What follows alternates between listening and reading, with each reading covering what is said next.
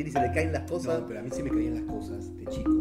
¿Ves? yo siempre tuve Mira. el problema de la miopía. ¿Ves lo hace? No es muy difícil la consigna. Pero esto, escúchame, esto no. Esto, Sí. no sabés lo que me, lo que- lo- cómo lo tuve que sacar. Seguimos intentando un podcast que no tiene principio, que no tiene nombre todavía, que no tiene final.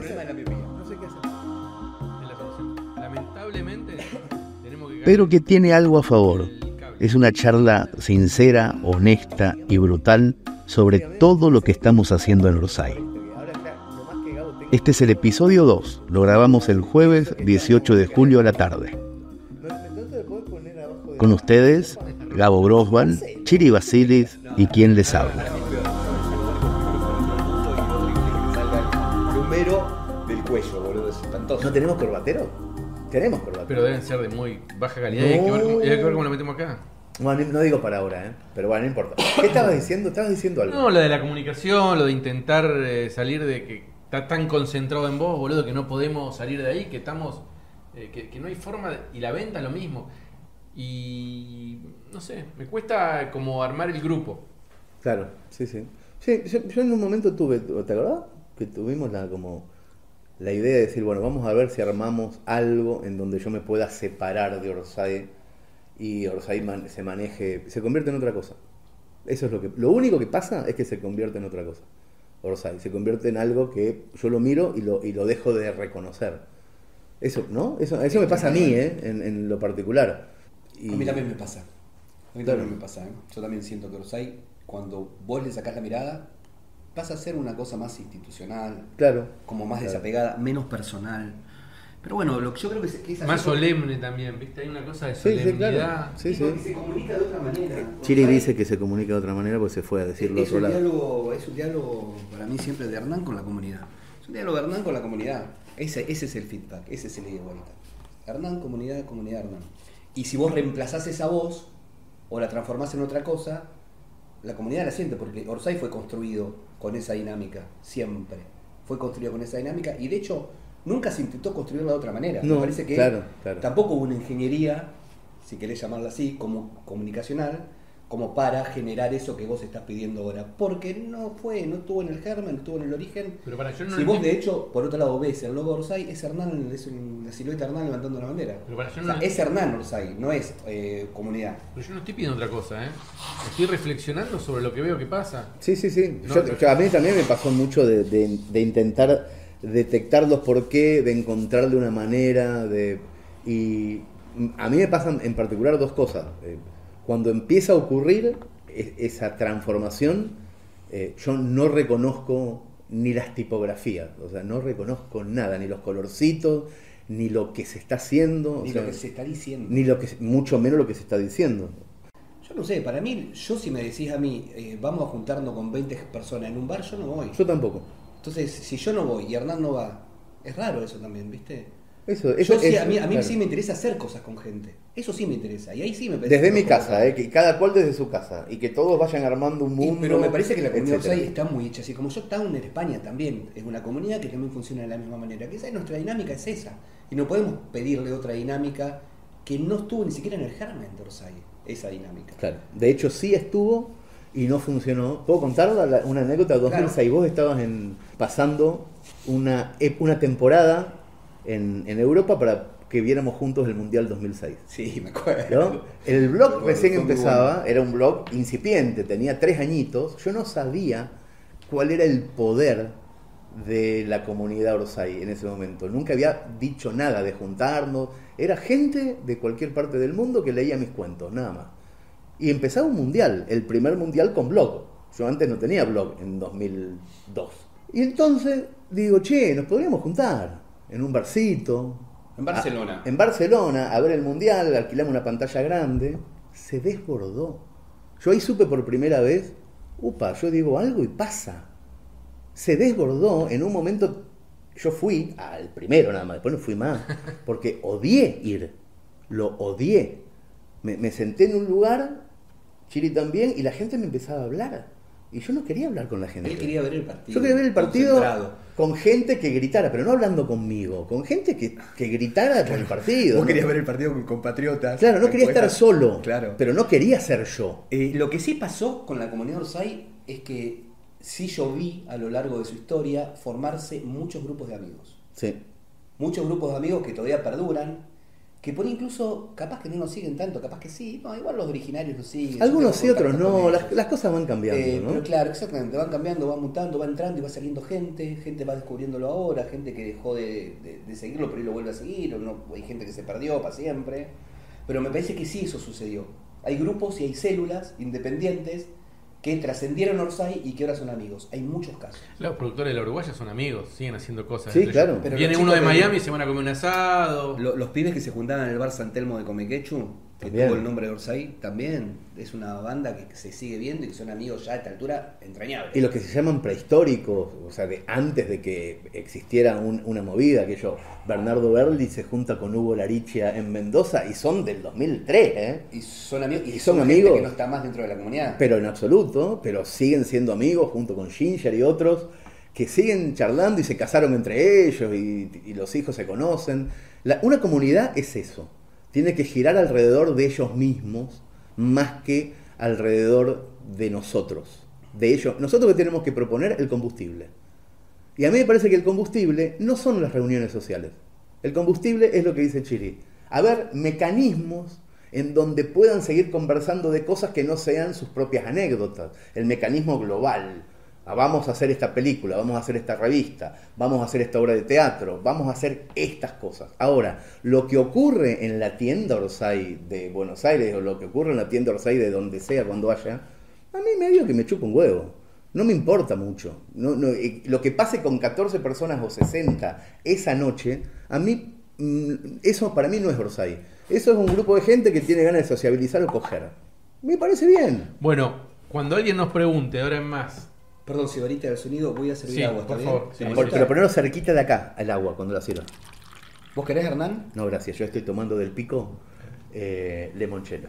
cuando alguien nos pregunte por qué no hacemos reuniones más Orsay, qué sé yo, la explicación la van a encontrar en los primeros 10 minutos de este podcast. Claro, exacto. Y creo que este momento también de este podcast, esta reunión que estamos teniendo nosotros tres, este y el anterior, es, nos empezamos a sincerar. Empezamos a decir que es Orsay de nuevo. No, yo eh, volví en todo caso. No es que nos empezamos a sincerar. Yo nunca, jamás, mientras estuve, me comí una frase. Siempre la dije para afuera. Nos empezamos a comer frases cuando yo miro para otro lado. Pasa eso, pero pasa de una, ¿eh? Nos empezamos a, no empezamos a contar lo que pasa cuando yo empiezo a, justamente a querer separarme de la comunicación. Me separo de la comunicación, se vuelve todo careta. Ocurre. Y no lo digo pues, eh, haciendo alarde de eso, lo digo odiando que pase. Odio que pase. Es un eso. problema. Es un problema. Entonces acá estamos. Listo, no hay que hacer cosas lindas, hay que hacer cosas ciertas, verdaderas y con los problemas que tengan las cosas. Y uno de los problemas que tenemos es que cuando yo miro para otro lado se pone todo muy careta. Ese es un problema. Y se pone todo muy careta. ¿Por qué? Porque la comunicación se, se resiente. Empieza el, el- el mundo Orsay, o lo que se llama el mundo Orsay, a tenerle miedo al socio, más que verlo como un par. Bueno, ¿qué le vamos a contar al socio de todo esto que está pasando? ¿Le contamos esto? No, esto ponelo abajo. Esto no lo pongas con rec. Porque no es un diálogo natural, o sea, es un diálogo que se vuelve más institucional. Claro, claro. O institucionalizado. Y también se entiende porque cualquiera que venga a hacer la comunicación en Orsay viene con herramientas, digamos, de otros palos. De otro palo, lugares, claro. Y tiene también una metodología de comunicar que es la formal, es la tradicional, es la clásica, y por eso nosotros, que estamos desde un principio, y sobre todo, bueno, no- yo que veo vi Orsay desde su germen este, inicial, lo consideramos o lo vemos careta. Careta es, no estamos contando quiénes somos. Claro, exacto. Y cierto también que desde un primer momento, una de las características que tuvo Hernán con, con Orsay contando las cosas, es que siempre contó quién era. O sea, nunca dejó de contarse a él mismo cómo era, quién era, qué hacía, y también eh, exponiendo hasta sus cosas que no que cualquiera ocultaría. por Obvio, lado claro. ¿no? El fumar porro como un desmedido, el levantarse a la mañana y ya aprenderse. O sea, cuando comunicaba eso, cuando era eso, él contaba lo que era. No estaba contando otra cosa. Y eso es lo que se ve de afuera. Es como una charla. Sí, es, es una conversación. Es una conversación. Entonces, El- perdón, cuando viene alguien de afuera no puede sostener ese mismo tono de conversación. Claro. Porque no lo tiene. Igual tampoco Hernán es eso ahora. Pero Hernán ahora es No, otra pero, soy- cosa. pero vos fijate lo que pasó con el podcast que vos armaste con mi vieja y con mi hermana acá mismo hace un mes y pico. Todo el mundo que lo escuchó antes de salir me decía, che, ¿van a publicar esto? O sea, fíjate antes, me dijo Gabo, fíjate antes de poner, porque acá hay que sacar cosas. Y yo lo escuché y me pareció alucinante las barbaridades que decía No, mi vieja sobre mí y mi hermana. Y digo, ¡ay, pues obvio, es lo mejor que tenemos hasta hoy! O sea, por primera vez hubo una vieja, alguien acá sentado que no careteó, mi vieja. Obvio que no, no sabe caretear, pero nunca escuché a nadie sentado acá sin caretear. Hasta que apareció Chichita a decir que yo era un forro. Eso es lo que hay que contar. Eso es lo único que importa. Lo demás me chupa un huevo que venga uno a, a decir el 12% de lo que se puede decir. Me chupa un huevo. Que es distinto, por otro lado, si nosotros hacemos un determinado proyecto, como por ejemplo los proyectos de cine, ahí sí es necesario ha- hacer o instrumentar una, una comunicación un poco más estandarizada, si querés, por un punto, porque hay que, o no, porque vos lo hiciste muy personal también a tus podcasts. Sí, sí, no, a mí me gusta Y lo que, vos que le hace diste con un- cine. un- ¿eh? un- una voz personal a tus podcasts que están buenísimos, pero vos contaste, eh, porque al mismo tiempo tenés que generar contenido uno por día, y bueno, buscaste un método para hacerlo y una forma de hacerlo, y no deja de ser lo que hiciste vos, un diálogo totalmente genuino y recon... Yo lo sentí muy eh, Yo también. del riñón Orsay. Estoy a favor. Espera, quiero decir una cosa. Quiero, voy a defender acá, voy a sacar la bandera de Simón de Israel, que vino acá y te bardeó cuando habló de, de que no los ahorita firmar, a saludar el día del estreno. Sí, sí. Algunos vienen y dicen también lo suyo y, lo, y queda eso en el podcast. No, no sacamos cosas. No es que No, no, no, digo- cuidamos a nadie acá. Está Digo, bien. Nosotros digo. somos lo que somos. Claro. Claro. A mí el podcast que estamos haciendo hoy, que este es el segundo capítulo, a mí me gusta como sistema. Nosotros nos sentamos acá, charlamos de lo que hay que charlar, publicamos, se publica y se pone en los numeritos eh, más o menos de qué va la conversación para que la gente pueda entrar a la parte que le interesa de, de las cosas. Pero después de eso es, es laburar, es trabajar y hacer cosas y, y eso. Vos tenés gente que... Mandó pregunta. preguntas. Sí, sí. Nos cagaron a preguntas. Pero bueno, vamos a elegir algunas. Sepan que, que si no ponemos todas es porque no, no damos a tiempo. No, No, sí, tiempo. ponerlas representativas. Voy a poner unas para empezar a hablar. Vamos a empezar a hablar de guita, vamos a empezar a hablar de algunos temas. Hola Hernán, te hago una pregunta que, que sale mucho en el Telegram y es qué pasó con las ganancias de la Uruguaya, porque vemos que en todos los canales y radios te la pasás diciendo que nos llenamos de guita con, con la Uruguaya y bueno, tengo eh, afuera gente esperando que no saben si secuestrarme o no. Eh, mi nombre es Sole de Colegiales. Hola Sole, ¿cómo estás? En general, cuando hago marketing, digo las cosas que hay que decir para que la gente eh, entre en inversiones. En general, en Uruguay yo digo recupero de dividendos, nunca digo que nadie se haya llenado de guita. O sea, se recuperaron los dividendos, se recuperó lo que se puso, se va a seguir vendiendo a otros eh, continentes o a otras regiones y va a haber más dividendos. Pero yo no creo, y ojalá encuentres el lugar en donde públicamente yo haya dicho que alguien se ha llenado de guita. O sea, ahí ya te ilustro los zapatos, pero yo no creo que haya dicho nunca que alguien se haya llenado de guito, sino que la uruguaya funcionó como un relojito, se recuperaron los dividendos y va a seguir ocurriendo a futuro en tanto se siga vendiendo a otras regiones.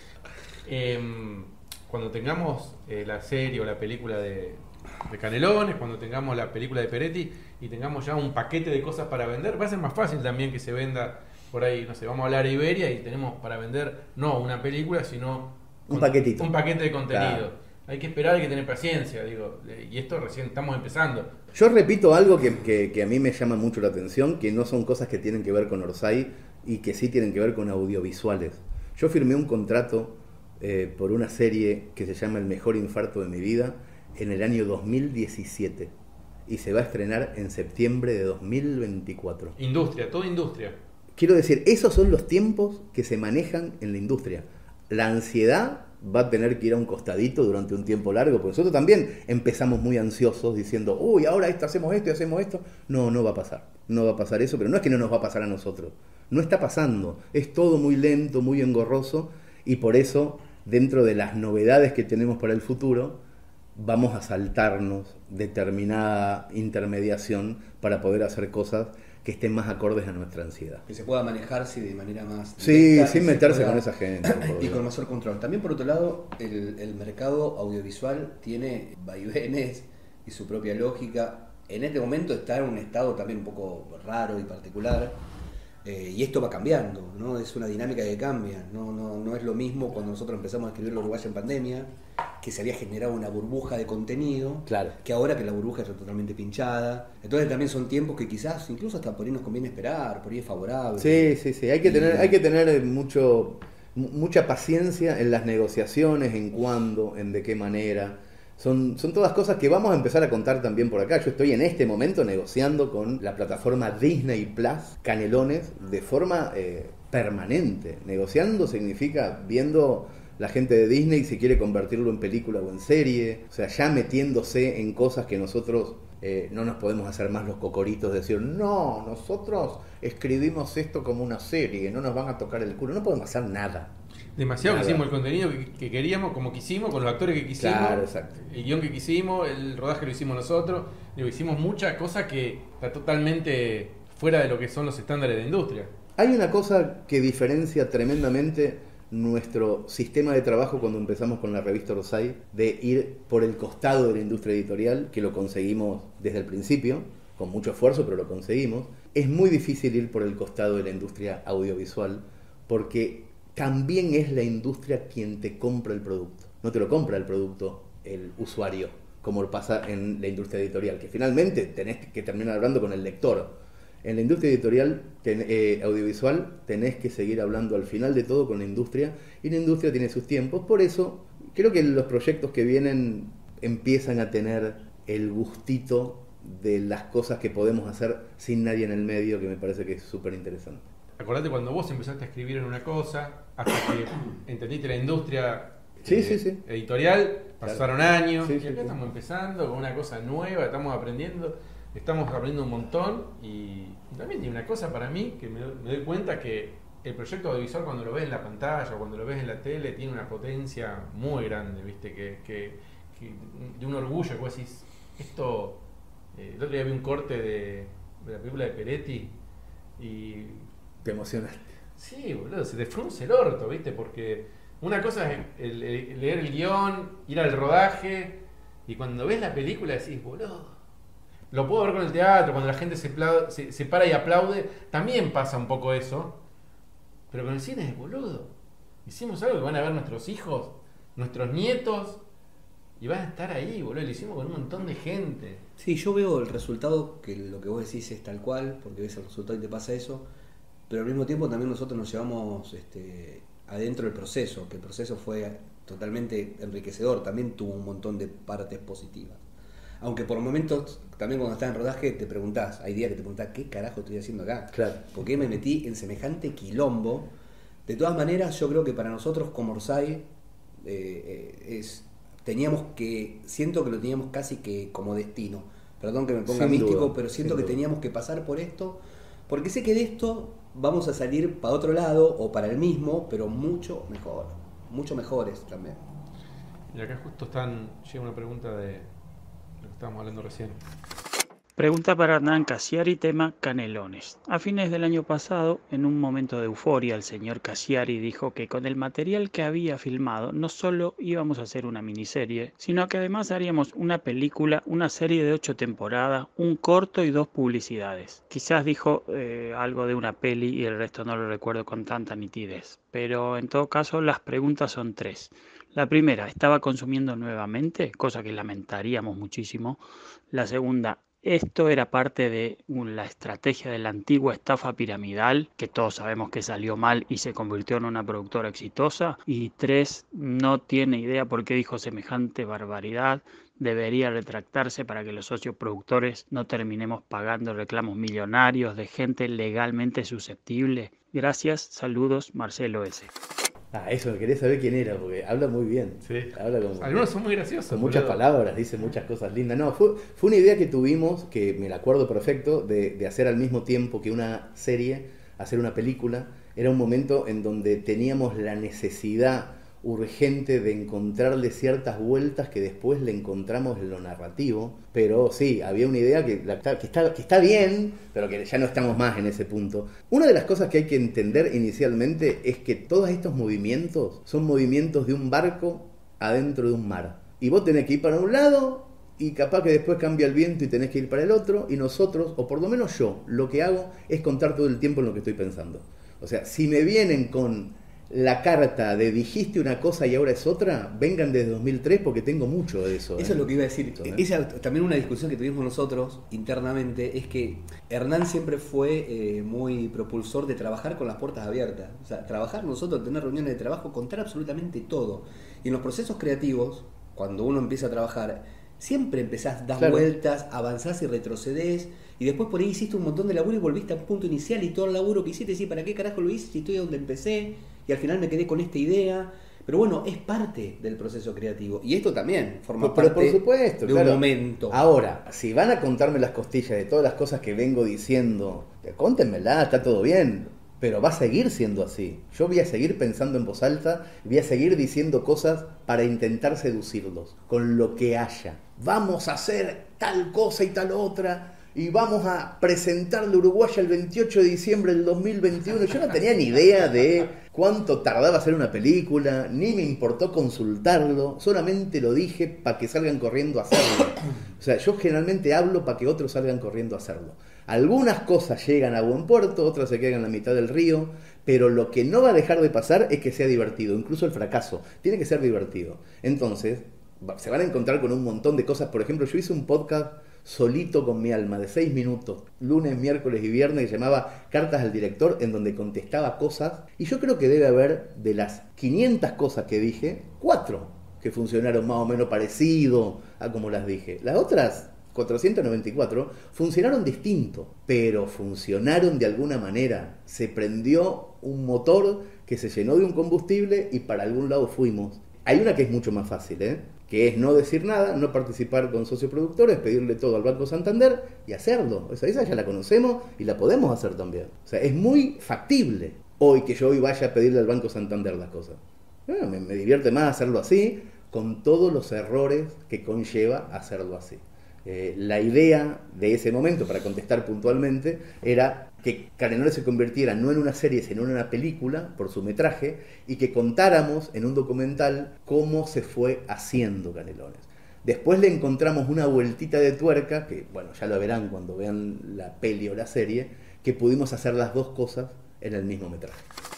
Hola chicos, ¿cómo están? Ángel, vivo en California. Tenía una pregunta. ¿Tienen esperado que las películas, el contenido que están creando, de tener ese contenido en plataformas quizás eh, en Estados Unidos o es solamente para Argentina y Latinoamérica? Gracias. La idea es tenerla en todas las plataformas del mundo que podamos, en todos los cines que podamos y en todos los aviones y colectivos y trenes que podamos.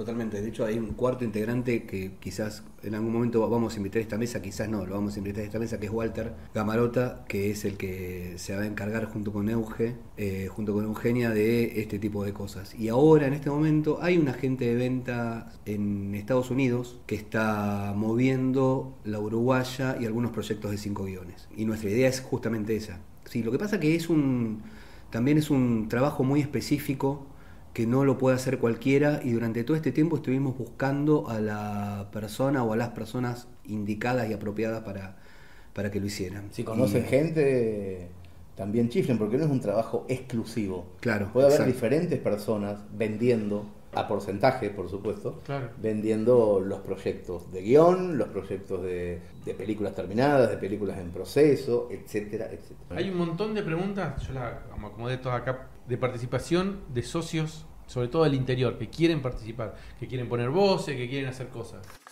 Hola equipo, soy Javier, les mando este audio desde Barcelona. Quería preguntar simplemente si en algún momento van a abrir una convocatoria para que productores o integrantes de la comunidad mandemos eh, guiones de obras de teatro para ver si está la opción de que sean producidas por, por Orsay. Bueno, un saludo y perfecto todo lo que están haciendo.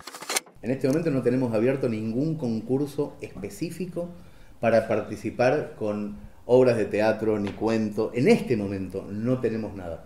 Sería espectacular en el momento que acomodemos los nuevos proyectos, abrir una convocatoria como ya hicimos en 2022, de la cual sacamos un montón de cosas para la revista Orsay, para libros y para cosas. Todavía no tenemos nada preparado eh, o sea, que a todas las personas que preguntan cómo participar con guiones, con cuentos, seguramente habrá algún concurso permanente o temporal, si conseguimos un sponsor con premios como fue la última vez, o si no, por el placer de participar y que nosotros podamos gestionar cosas, pero no lo vamos a estar haciendo en este momento. Y respecto a las personas que quieren participar en producción de nuevos proyectos audiovisuales, nosotros vamos a encarar nuevos proyectos audiovisuales en breve en formato documental, porque entendemos que el documental tiene para nosotros una semejanza mucho mayor con Orosai, con lo que somos, que el formato donde hay un rodaje, donde hay un sindicato que te dice que tenés que llevar tales cosas y tales cosas no. Cuando haces documental, y sobre todo cuando tenés el material de archivo ya conseguido, es un trabajo de cuatro paredes en donde la creatividad está muchísimo en el guion, en la dirección, en la búsqueda de música, en las voces. Es más parecido, quiero decir, a la ficción sonora con imagen por encima, que es una cosa a la que estamos más cerca de poder acceder con criterios creativos poderosos, innovando, haciendo cosas nuevas. Entonces, lo que se viene, se viene en formato documental. Vamos a necesitar, como creo que Chiri ya dijo en el podcast pasado, un montón de voces. Prepárense los que quieren participar con nosotros, porque vamos a necesitar voces, no necesariamente de locutores, vamos a necesitar voces de gente común, de nuestra comunidad, para hacer multitudes, para hacer acentos, para hacer un montón de cosas y ahí nos vamos a meter. Personajes, ¿eh? Personajes. También va a haber, como hubo en la concepción de la película Muchachos, la película de la gente, mucho pedido audiovisual casero. Mucho. Vamos a pedir de todo. Porque en el documental vamos a requerir, ya van a conocer las temáticas, las primeras temáticas, vamos a requerir muchísimo de la comunidad, de gente que conoce a alguien que conoce a alguien que tiene tal cosa, vamos a pedir mucho, va a haber mucho WeTransfer, va a haber mucha transferencia de videos en alta, va a haber mucho trabajo en ese sentido. No vamos a hacer cosas de 3 millones de dólares, eso quiero decir, porque el mercado no está hoy para vender cosas de 3 millones de dólares. Ni el mercado ni nosotros, me parece. Ni nosotros a, a tampoco. Mí, a mí me pasa también que, que, por otro lado, tengo muchas ganas de, y estoy viendo cosas también de, bajo presupuesto, de equipos chiquitos y controlados, con las posibilidades que ofrece la tecnología hoy, que son cada vez mejores y cada vez están más al alcance de la mano de cualquiera, eh, que tengo ganas de explorar. Tengo muchas ganas de salir a trabajar con un equipo chiquitito, con un equipo reducido, con un equipo de 5 o 6 ninjas que sepan hacer todo, que resuelvan situaciones. Sí y de manera práctica al mismo tiempo después poder darnos el tiempo de editar lo que necesitemos y tomarnos el tiempo que necesitemos, porque en ese laboratorio es también donde está todo, o casi todo, ¿no? Del material que te llevaste vos lo podés procesar ahí, cuanto más tiempo tengas en una isla de edición, sin que te corra la guita, sin que te corran los tiempos, sin que te corran las plataformas, yo creo que el, el producto es mucho mejor y es mucho más divertido hacerlo. Entonces yo, mi, nuestra como que no, nos pinta ir por ahí, nuestras ganas van por ahí. ¿Viste algo de Frenkel? Sí, no. por supuesto. ¿Plata Segura, viste? Me junté con él. ¿Pero viste la película Plata Segura? ¿Cuál es, cuál es Plata la Segura? de los muñecos. Sí, la vi. Una la vi, película la de 40 minutos que hacen con muñecos, pero muy choto como está hecha. Pero es una película que te cuenta una historia. Claro, claro. Pero él la hizo jugando con un amigo. Yo le pregunté cómo la hizo. La hizo jugando con un, un amigo. actor tiene, es el que el cazador. El cazador. Se juntaba los fines de semana con un amigo y le hizo así. Y fue un éxito en el Bafisi, la rompió. Y después hizo, bueno, yo vi de los ganadores. Los ganadores que me gustó mucho. Sí, sí. Bueno, estamos hablando de Néstor Frankel. Sí. Busquen en, en, algún lado su. En Cinear está gratis Los ganadores. Los ganadores. Bueno. Que es esta película. A mí me gustó igual, ¿eh? Bueno, pues tuviste una reunión con él.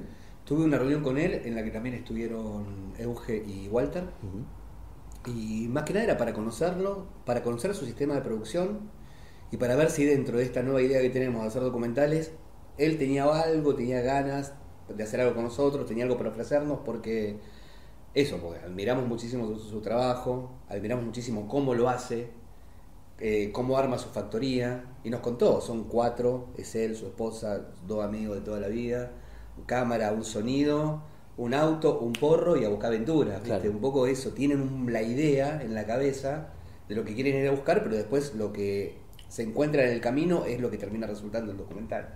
Nos propuso una idea que es muy linda y me dijo, obviamente yo cuando me junto con alguien doy por sentado que esa persona no me conoce o claro. no nos conoce, no sé por qué, y obviamente nos conocía, estaba al tanto de todo lo que habíamos hecho, y yo sí, lo sigo, qué sé yo, y me dice, tengo una idea para ustedes. Ya venía con una idea que la había pensado y, y dice, es ideal para ustedes y es ideal para trabajar con la comunidad. A mí me parece que no podemos hacer proyectos en donde la comunidad no sea protagonista absoluta, no solamente en la financiación, que no sea protagonista en, en- en- en los ámbitos de la construcción. Y, y lo maravilloso de proyecto. Frenkel es que lo entendió así de Claro, entrada. claro, claro. ¿Y, y cómo- y cómo- se puede contar cuál es el proyecto? Sí, eh, monumentos.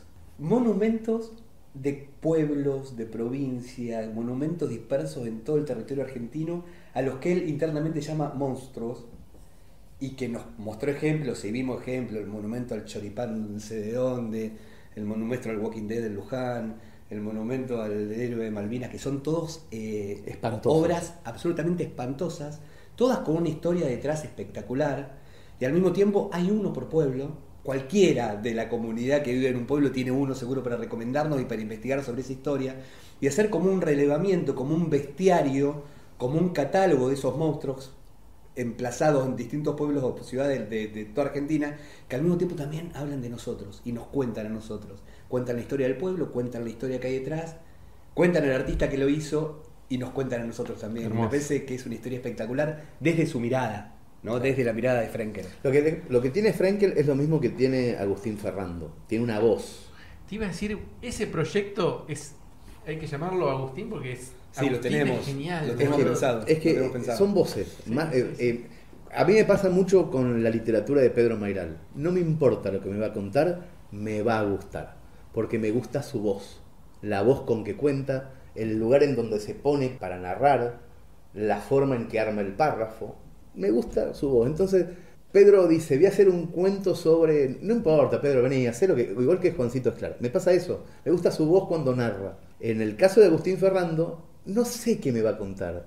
Fuiste a Londres, fuiste a Islandia, viste una paloma, estuviste fumando un porro todo el tiempo en el amanecer. Contámelo. ¿Quién decía, contámelo. quién decía eso que creo sobre Salinger, no sé sobre quién, que cuando terminabas un libro de él, lo primero que te daban eran ganas de llamarlo por teléfono? Claro. Porque sentís que lo conoces. Claro. Bueno, claro. yo, perdón, volviendo a Frenkel, la flasheé con el documental de René Laván. Se va a Tandil Sí, y está en la casa y habla con él, con Es la mujer. lindo, Sí, bueno, y hablan con una mano que le mandaban de Estados Creo Unidos. que la de hecho guarda. él estuvo, me parece que, no sé, viajó a Tandil, pero estuvo cinco días, ¿eh? Se ¿Ah, sí? Cinco, cuatro días, no me contó.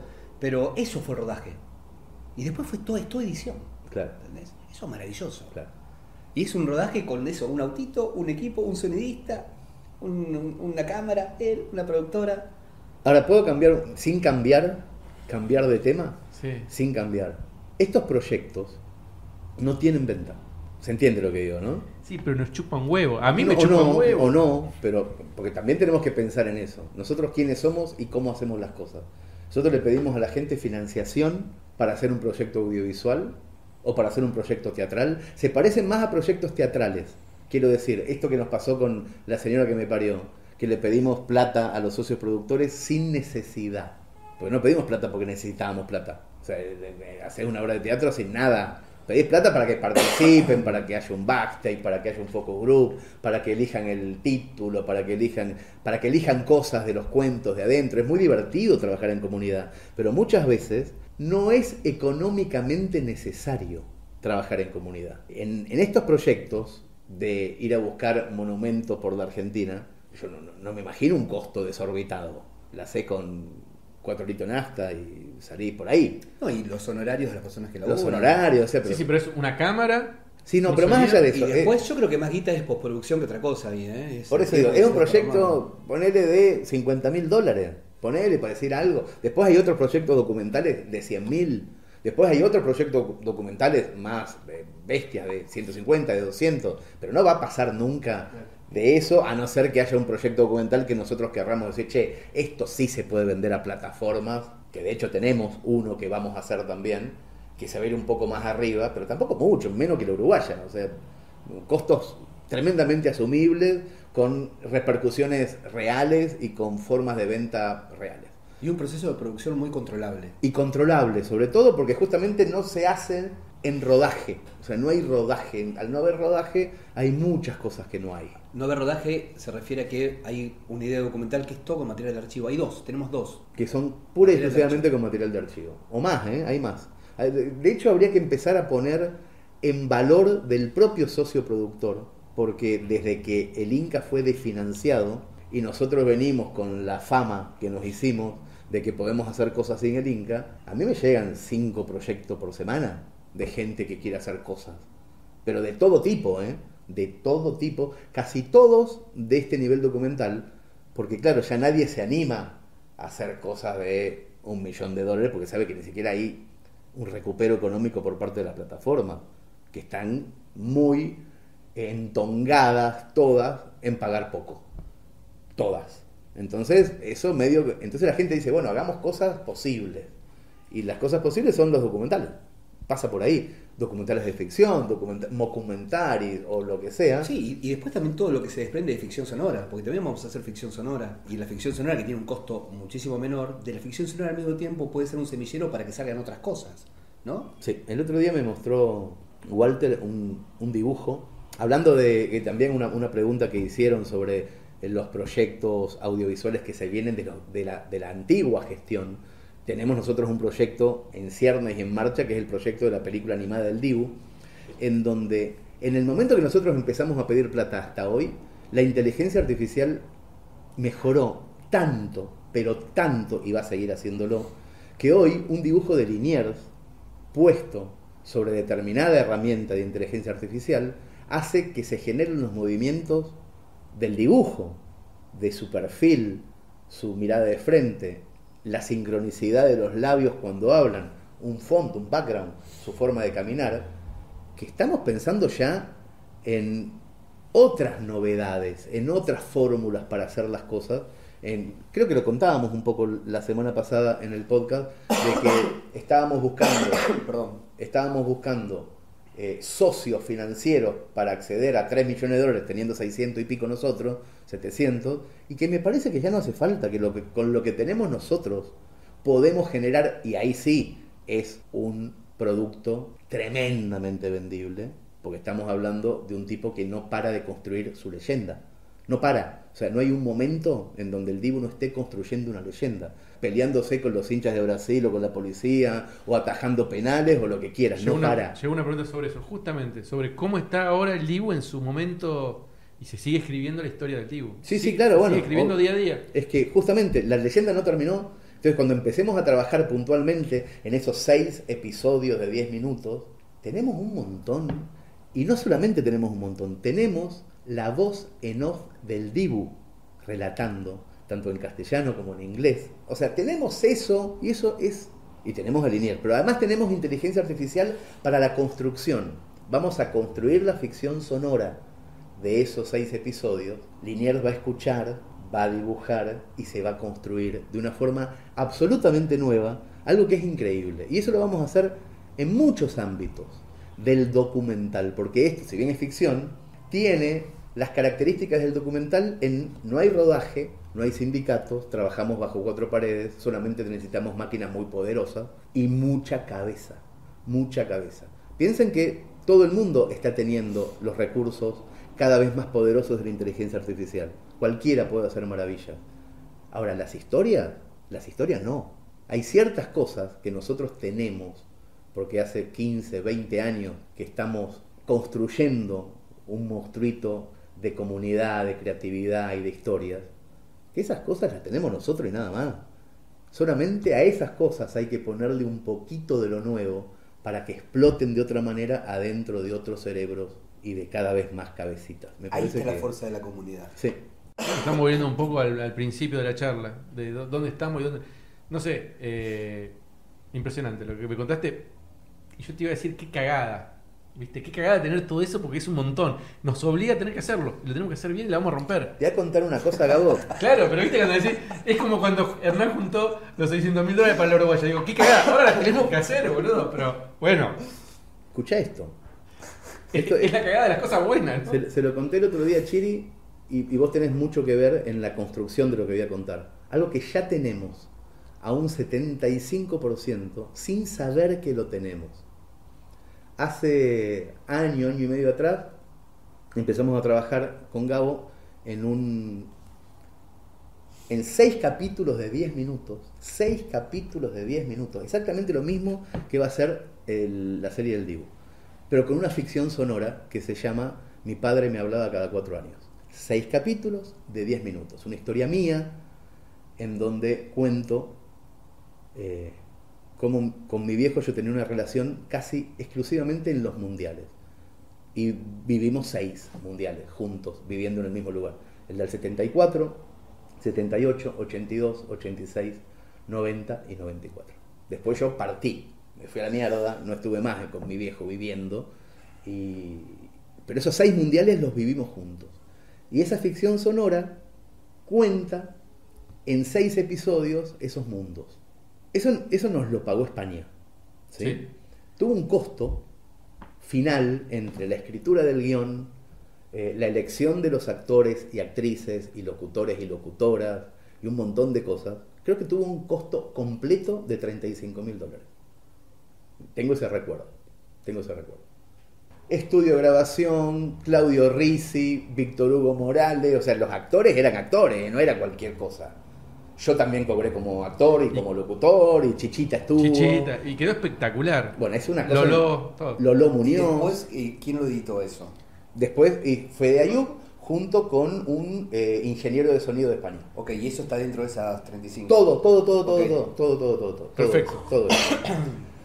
Hace no tanto le pedimos a Juan Sáenz Valiente, un espectacular ilustrador argentino Estuvo en este que podcast. estuvo en este podcast y que vive en Francia, que escuchara esos seis capítulos de la ficción sonora y que para la revista Orsay hiciera las escenas. Yo, Chichita y Roberto, 1974, yo con tres años en la casa. Y ya está hecho. Hermoso. Ya está. Es decir, si nosotros ahora vamos a la tercera etapa, que es la inteligencia artificial trabajando sobre esas escenas ya construidas, poniéndole la sincro de la voz a cada uno de los personajes ya dibujados, lo que tenemos es un dibujo animado en fase beta, pero muy parecido a lo que tenemos que hacer en la película del Diego. Totalmente. Pero muy parecido. Entonces, ¿qué onda? ¿A dónde hay un documental? ¿A dónde hay una película? ¿A dónde hay un dibujo animado hoy con estos nuevos recursos? Lo único difícil es el cuento. El cuento, o sea, ¿qué se cuenta?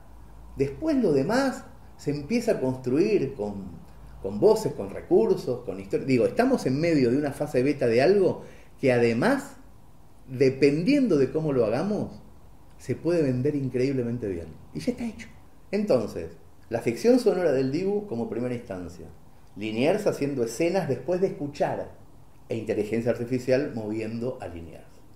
Son, son los- las tres capas de un sistema, y un sistema maravilloso. Porque acá lo importante es el tono de las voces, eh, el dibujo, que tenemos al mejor, y después ver cómo sigue creciendo la potencia de esas herramientas poderosas que hace que no tengamos que utilizar a 35 filipinos 24 horas por día dibujando capa por capa como en 954, sino que esa automatización viene de otro lado, viene de otro lugar.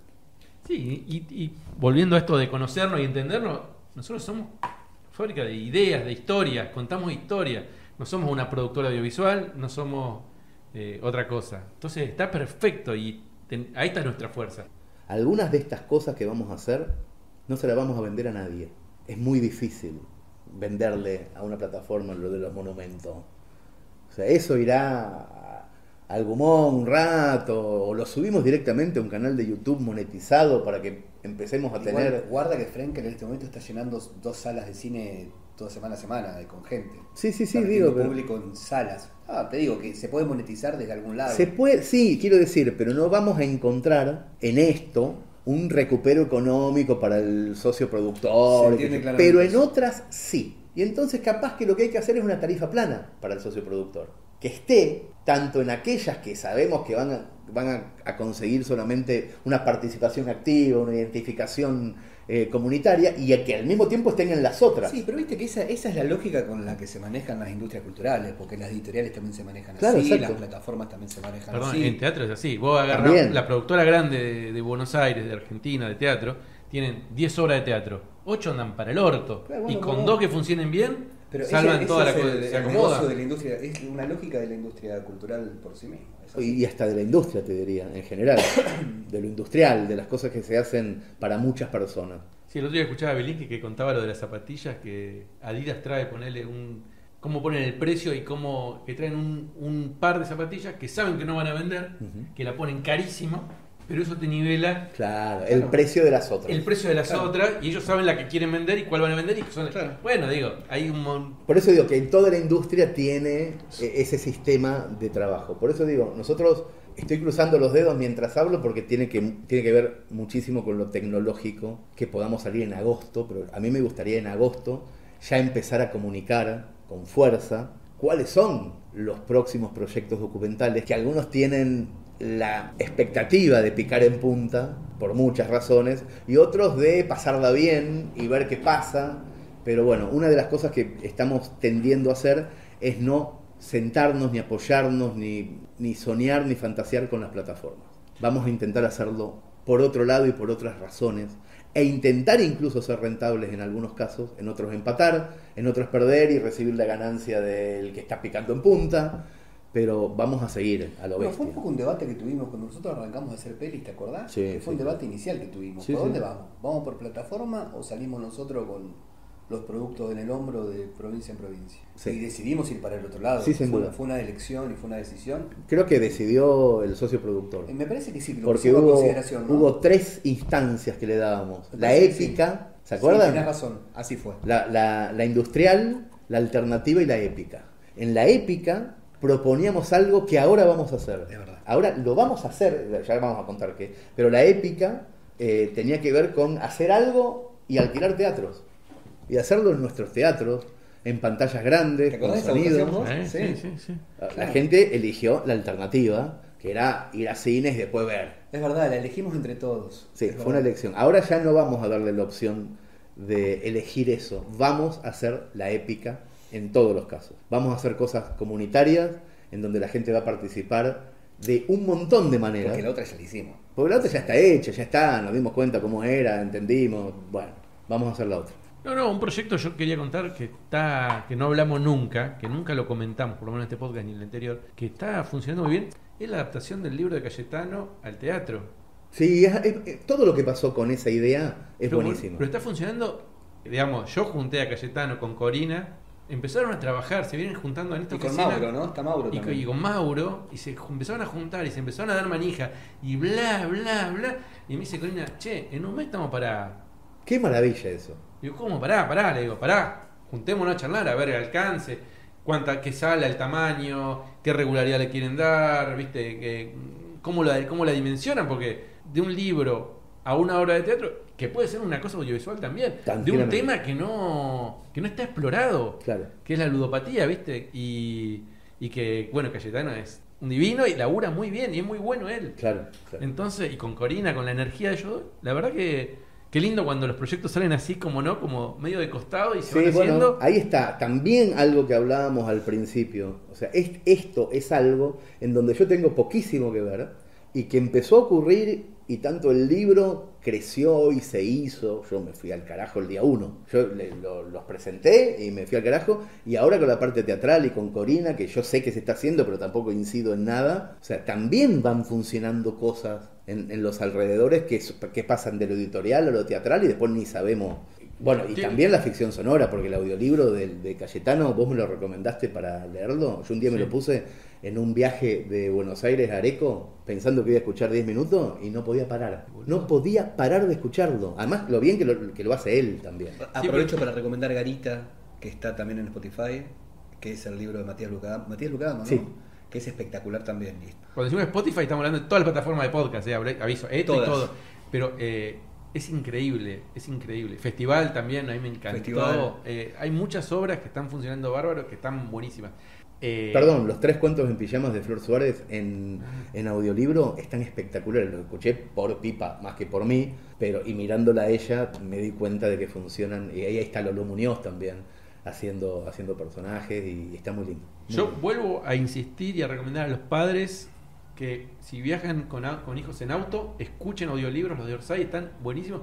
Y aunque sean historias para adultos, los pibes se enganchan. Van en el auto, en la ruta, y les pones un audiolibro que se escuchan bárbaro, que las historias están buenísimas, y los pibes se quedan y los sacás de las pantallas, ¿viste? A mí me pasó mucho, pero mucho y cada vez más en funciones. Cuando estoy firmando pregunto cosas y siempre hay chicos de 11, 12 años. Viste que hay mucho chico que viene a las funciones mías, eh, las unipersonales, afuera incluso. Y siempre, siempre, siempre es porque los padres escuchan mis cuentos en el auto en viajes largos. Y los pibes empiezan a pedir esos cuentos.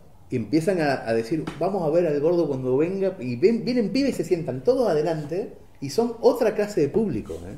Un público que se cree todo. Se cree, es maravilloso el público infantil. Es muy, muy, muy lindo. y me parece que ahí hay algo que el libro no tiene. Porque si vos no tenés tiempo de leer de en voz alta a tus hijos un libro, poner algo en el auto en un viaje a Mar del Plata es literatura que se está consumiendo adentro de ese auto. Todas las personas están escuchando eso y después charlan sobre eso un rato. Y me parece que hay ahí no solamente un futuro distinto de la anterior herramienta que era el libro, sino incluso mucho mejor para conectar. Estás leyendo un libro al mismo tiempo entre cuatro o entre tres personas. Y eso no suele pasar. Che, hablando de esto, yo viste que nosotros tenemos, lo contamos en el otro podcast, la idea de eh, hacer ficción sonora con los guiones de cinco pelis. Sí. Con todos, incluso con el Dibu, que vos contaste recién un Sí, poquito. sí, claro. Eh, yo le tengo mucha fe porque me parece que pueden estar muy bien y al mismo tiempo también nos sirve como plataforma de venta, porque me parece que es muy buena Sí. la posibilidad de poder escuchar lo que finalmente potencialmente se puede comprar o se puede vender. Eh, y al mismo tiempo también entiendo, digamos, al leer los guiones y al verlos y ya pensarlos con una cabeza audiovisual, que están escritos en dos formatos diferentes. Una cosa es escribir para la, para la imagen, para el sonido, para la acción, para lo que no se ve, y otra cosa es escribir para lo sonoro. Claro. De hecho, también estoy escuchando bastante eh, ficción sonora. Ahora los españoles son bastante buenos, los chilenos son buenos haciendo ficción sonora. Y obviamente es otra lógica, se cuentan las cosas de otra manera. Y al mismo tiempo también la ficción sonora explora mucho más el campo de lo sensorial. Claro. Por ejemplo, hay descripciones que la ficción sonora profundiza, como por ejemplo, no sé, la preparación de un trago, ponele, o no sé, ver un cuadro de Paul Klee en la pared, que una, un guion audiovisual lo pasa por alto, lo menciona y ya está, y nos cagamos en eso. Entonces, sí o sí requiere una transformación de formato, o un pasaje de formato de lo audiovisual a lo sonoro, hay que ponerle cabeza, hay que ponerle tiempo y hay que ponerle bueno, un recurso. Sí, sí, yo- vos, me contaste eso en un, en un WhatsApp y yo no te lo contesté nunca. Yo no, no- no estoy muy de acuerdo con que haya que transformarlo. Lo que no estás viendo. Bueno, pero eso hay que hacerlo. En todo caso, eso hay que hacerlo y eso no está en el guion. Sí está, No, no está en el guion. sí está, No está en el guion. sí está. Hay cosas que están este, pasadas por alto, hay cosas que están sugeridas. Te das cuenta leyéndolo. Pero espérate, ¿cómo no van a estar en el guion? Si no están, no existen. No, no, pero hay, hay momentos en los que vos necesitas detenerte. De hecho, hay escenitas que son solamente descriptivas, o hay pasajes, o hay transiciones entre una escena y Pero otra. vos lo- le tenés que explicar al director lo que querés. ¿Sí, o no? Pero, pero hay que hacer una adaptación y te lo tengo que mostrar con el guion sobre la mesa. Mostrame, abrí. No, no está en el guion. Sí está, No está en el guion. sí está, No, no está en el guion. sí está, No está en el guion. sí está. No, pero ahora no, no, ahora la volveré. ¿Ves que sos un pelotudo? O sea, al final No, si estamos no. peleando, tenemos es lo que me dice, es lo que me dice Julieta. Vamos subiendo la música mientras nos peleamos un rato más y escuchemos a socios productores proponiendo nombres para este podcast. Hola, soy Carlos. Tiro algunos nombres para el podcast. Podría ser Mesa de Ideas de la Comunidad de Orsay. Hola, me llamo Martín. Para el podcast, dejarle no tiene nombre o alguna variante sin nombre me parece genial, me parece que queda muy bien. ¿Cómo andan? Mi nombre es Vicente. Bueno, ya que el podcast sugiere hablar sin pelos en la lengua, eh, a calzón quitado, un buen nombre podría ser Orsay sin calzones. Hola, sí, soy Luis. Creo que lo más adecuado sería que se llame posición adelantada, porque es lo que implica el Orsay y a la vez es este, la postura de estar siempre un paso adelante para saber lo que se viene. Hola, soy Aita de la Plata, escuchando el podcast anterior, que son un trío. Podría llamarse ahora el podcast El trío menos mentado. Espero que no se ofendan. Hola, mi nombre es Nadia Weber de Villa Urquiza.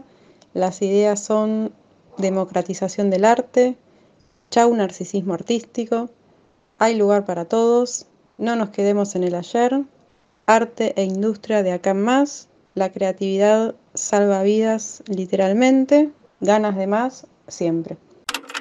Se me ocurrió la verdad de la milanesa o la milanesa transparente.